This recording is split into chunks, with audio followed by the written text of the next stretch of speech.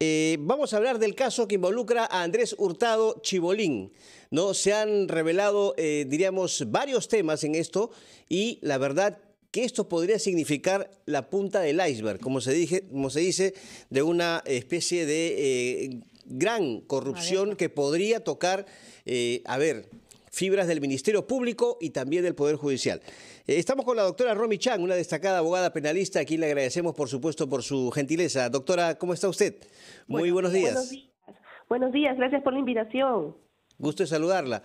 Bueno, eh, en primer lugar, eh, a ver, Andrés Hurtado Chibolín es investigado por varios casos, ¿no? Delitos.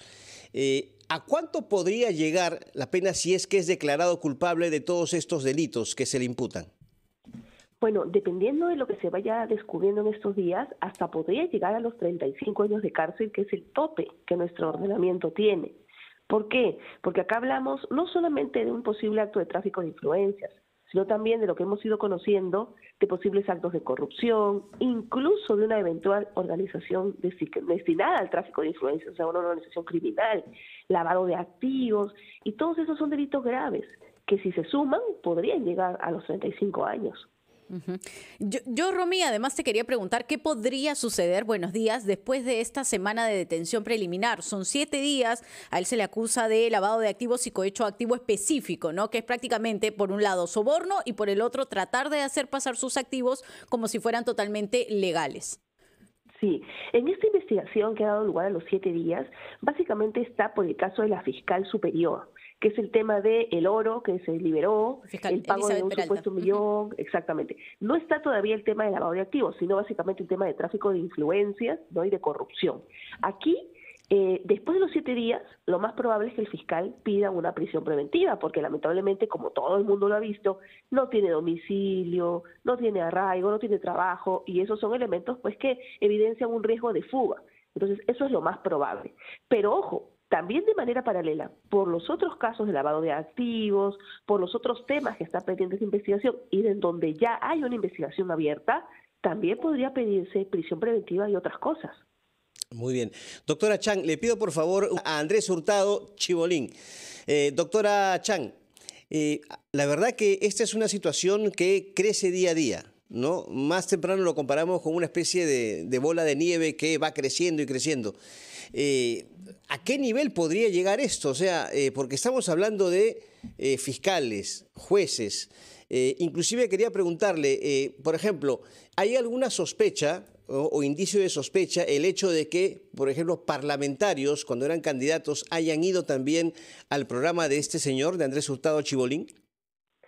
Sí, lamentablemente puede llegar incluso a parlamentarios y hasta alcaldes, ¿no? Porque también hemos visto que algunos de ellos han pasado eh, por eh, su programa, ¿no? Entonces, en verdad es cualquier funcionario público, porque parece que el señor aprovechaba la oportunidad para contactar a particulares siempre con funcionarios de cualquier nivel, ¿no? O sea, era como una especie de solucionador de problemas, justamente lo que llamamos traficante de influencias, ¿no? En el Perú. ¿Y podría él convertirse en un colaborador eficaz? ¿Qué implicancias además tendría esto? Sí, sin ninguna duda él puede hacerlo siempre y cuando la información que dé realmente sea considerada valiosa para la Fiscalía. Por ejemplo, coloque pues a funcionarios, porque obviamente la administración pública es importante, ¿no? Coloque a funcionarios y pueda entregar información y elementos de prueba. Eso es muy importante. Recordemos que el solo dicho del colaborador no es suficiente para que pueda ser merecedor de algún tipo de beneficio. Claro, eh, en este caso, si es que él eh, entrega información que pueda ser corroborada por eh, las autoridades, la Fiscalía, el Ministerio Público, ¿qué beneficios podría recibir? Bueno, hasta podría ser, podría evitar ir a la cárcel, o sea, hasta podría conseguir que el fiscal ya no pida prisión preventiva en su contra. Hasta eso. Recordemos, fíjense ustedes, el caso de Matilde Pinchi ¿no? Hablando de las diferencias. Ella, a pesar de que estuvo muy metida en todos los actos de corrupción que realizó eh, Vladimiro Montesinos, ella nunca pisó un penal. Entonces, lo mismo podría ocurrir con él, pero ojo, la información que dé tiene realmente que ser valiosa. Ahora, ¿qué implicancias, Rumi, también podrían caer sobre sus hijas, no? Si bien es cierto, ellas no viven en el país, digamos que eh, toda la información pública respecto al tipo de vida lujosa que llevan también hace pensar que eh, podrían tener algún tipo de implicancia o no. Sí, lamentablemente eh, esto ha pasado un poco desapercibido, pero lamentablemente yo creo que quienes peores consecuencias pueden tener son las hijas. ¿Por qué?